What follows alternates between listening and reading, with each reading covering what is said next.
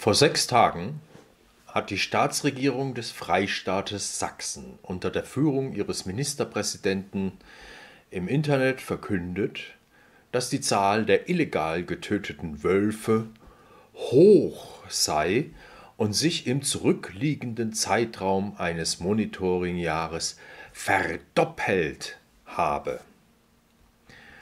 Grüß Gott und herzlich willkommen bei Medias in Res mit einem Beitrag aus Natur und Landwirtschaft.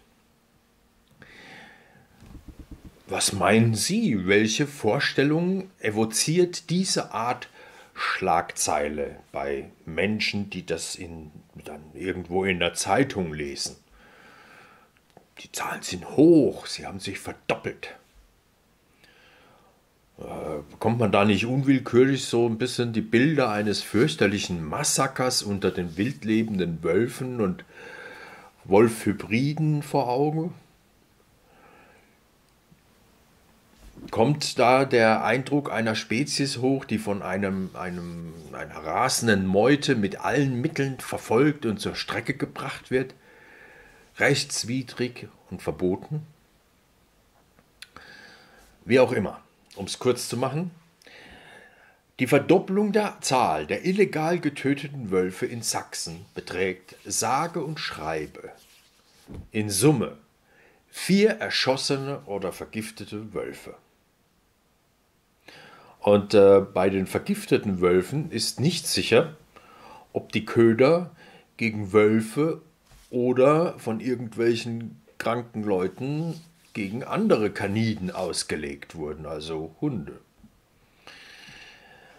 Schauen wir uns diese katastrophale Bilanz mal an in der Wirkung. Ebenfalls auf der Seite des sächsischen Freistaates verkündet die Staatsregierung, dass es im Monitoringjahr 2022-23 38 Wolfsrudel, vier Wolfspaare und zwei territoriale Einzelwölfe gebe.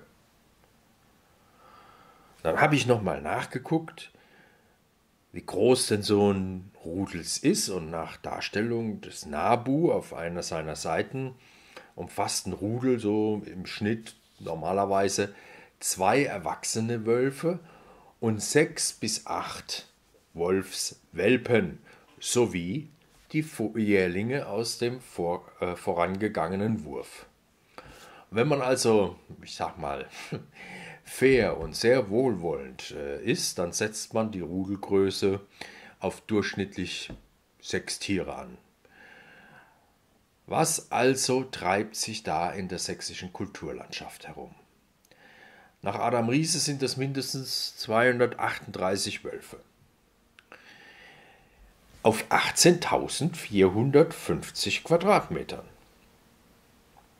Schweden mit seinen 447.440 Quadratkilometern duldet auf seinem Territorium gerade mal zwischen 250 und 300 Wölfe. Das 24 mal kleinere Sachsen macht demnach marktschreierische Schlagzeilen, weil aus dem Wolfsbestand von 238 offiziell nach außen vertretenen Wölfen vier Tiere, vier Tiere illegal entnommen wurden. Das ist überhaupt keine Frage. Selbstverständlich äh, sind das vier zu ahndende Straftaten. Selbstverständlich ist jede Straftat eine zu viel. Aber wenn die Staatsregierung Sachsens bei jeder Straftat ein derart hysterisches Verkünden an den Tag legen würde, könnte man in Sachsen vor lauter Gekreische überhaupt nicht mehr in Frieden leben. Kommen wir jetzt zu einem anderen, wirklich tragischen Vorkommnis. Am 12. April haben Wölfe bei Aurich in Niedersachsen erneut die Herde eines Schäfers heimgesucht, der sich um die Erhaltungszucht Coburger Fuchsschafe kümmert. Coburger Fuchsschafe sind auf der Vorwarnstufe der roten Liste gefährdeter Nutztierrassen geführt. Äh, das bedeutet, es gibt bundes- bzw. europaweit nur noch so wenige Tiere, dass bei einer weiteren Verminderung der Anzahl die genetische Vielfalt der Rasse und die genetische Grundlage der Rasse gefährdet sind. Ähm, da die Herde dieses Schäfers bereits 2021 äh, zum Ziel eines Angriffs der Wölfe wurde, hatte er mit Hilfe und unter Anleitung des Nabu nach Vorstellungen des Nabu einen wolfsabweisenden Schutzzaun errichtet, um die wertvolle Herde vor dem Spitzenprädatoren zu schützen. Jetzt ist interessant, die Eckdaten dieses Zaunes, die übersteigen jegliche bisherigen äh, ja, Empfehlungen, die der NABU so als äh, wolfsabweisende Zäune äh, nach außen vertreten hat. Denn trotz 1,55 Meter, also fast 60 Zentimeter mehr als der NABU normalerweise angibt, wenn er sagt 90 Zentimeter Zaun, ähm, mit, äh, 1,55 Meter hoher, 6 Litzen Elektrozaun und Untergrabschutz überwanden die Wölfe den Nabu-Zaun.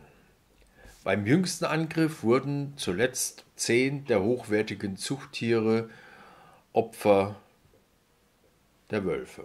Also jüngster Angriff. Im Februar gab es einen Angriff und jetzt am, ein zweites Mal Anfang April.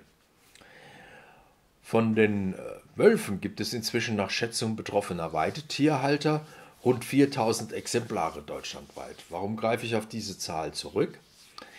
Ähm, die Weidetierhalter und viele Landwirte trauen den offiziell verkündeten Zahlen einfach nicht mehr, weil die weder mit den Erfahrungen noch mit den Durchnummerierungen der Wolfsexemplare, die in Deutschland ähm, äh, beim Senckenberg-Institut gelistet sind. Äh, das, das passt alles nicht überein und auch mit der Vermehrungsrate, die man so normalerweise äh, erwarten kann bei den Wölfen und so weiter. Also 4000 Exemplare und das kommt in etwa an die Dimension heran, die man im Internet über die Kopfzahl äh, der Coburger Fuchsschafe finden kann. Ähm, aber werden diese seltenen Nutztiere von irgendeiner Landesregierung mit der gleichen aufmerksamkeitsheischenden Presseveröffentlichung in den Fokus medialer Wahrnehmung gerückt, wie das die vier illegal getöteten Wölfe in Sachsen erfahren durften? Man hat irgendwie nicht den Eindruck, ne? Äh, fragt aber auch äh, die Politik, warum sie die Menschen mit den von der Politik verursachten und geduldeten Schäden und dem daraus entstehenden Leid so unfair alleine lässt. Und das in allen Bundesländern, auf allen Ebenen, bis hinauf zur Bundespolitik und zur Bundesregierung.